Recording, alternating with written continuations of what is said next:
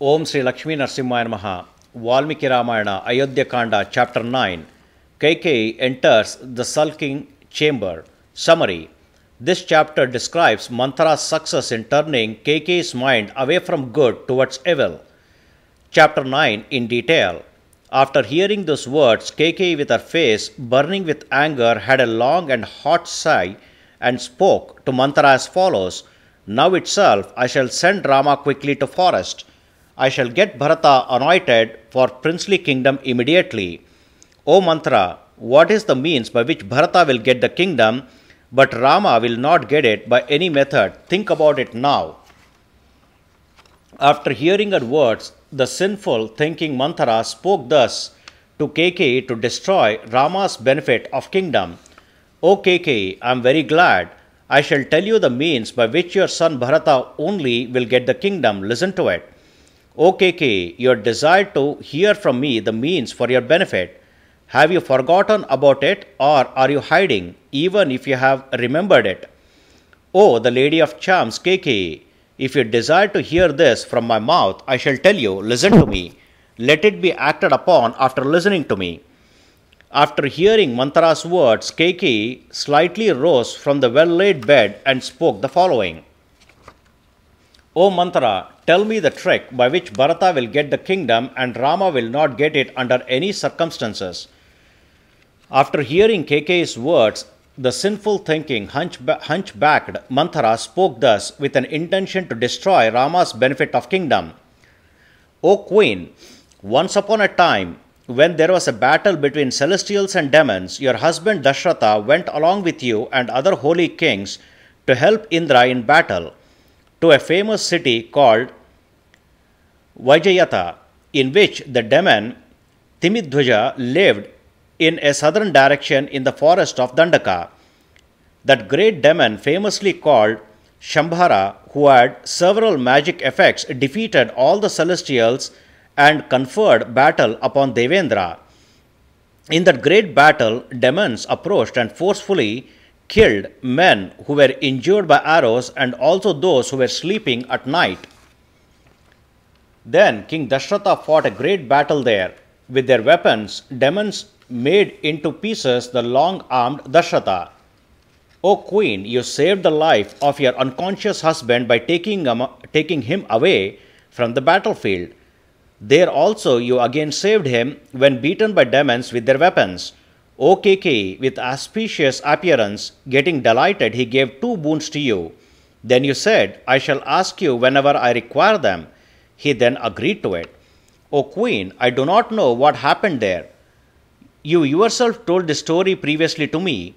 I am keeping this in mind because of my friendship with you. Hence, you have to stop by force the arrangements made for Rama's coronation. You ask your husband as two boons, anointing Bharata for princely kingdom and sending Rama to exile for 14 years. If you send Rama to the forest for 14 years, your son Bharata will get intimate association in the hearts of the people and will get stabilized in kingdom. O Kaikeyi, now enter the room of Worth as if angry with him and lie down on the floor without any spread underneath and wearing soiled clothes. As soon as you see Dashratha, be sorrowful and keep on weeping without looking at him and without talking to him face to face. You are always dear to your husband. I have no doubt about it. King Dashratha will even jump into a fire for your sake. The king is not capable of making you angry. He is not even able to see you with anger. He will give up his life for your love. O foolish one, the king will not be able to transgress your word. You realize your abundant strength. King Dashratha may offer you diamonds, pearls, golds, and various other precious stones. Do not care for them.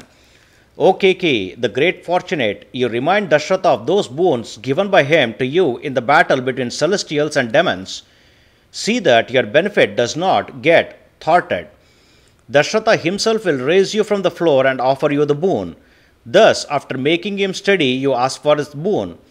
O king, send Rama to the forest for 14 years. Let Bharata be made as king of this earth. Rama, having been sent to forest for 14 years, your son will stand firmly, having laid his roots, and will stay in power for the remaining period. O Kaikeyi asked Dasharatha of sending Rama to forest also as a boon. Thus, your son will accomplish all the desired benefits. Thus, by sending Rama to exile, he will not become amiable to people. Your Bharata will become king after the enemies have been annihilated. When Rama returns from forest, your wife's son will accumulate friends and draw people to his fold, thus establishing roots it's himself. This is the appropriate time for you. Be fearless, and by your insistence, make the king turn aside his efforts to annoy Rama. Kaikeyi, being brainwashed and unworthy matter as the most worthy matter by Manthara, accepted her well and having delighted, spoke to her as follows Thought of right thinking in nature, Kaikeyi was very much surprised to hear Manthara's words and, like a small girl, got into a wrong path. O Manthara, you are telling me very good things. Till now, I have not recognized you as this good. You are the best among the hunchbacked on this earth in making intellectual decisions.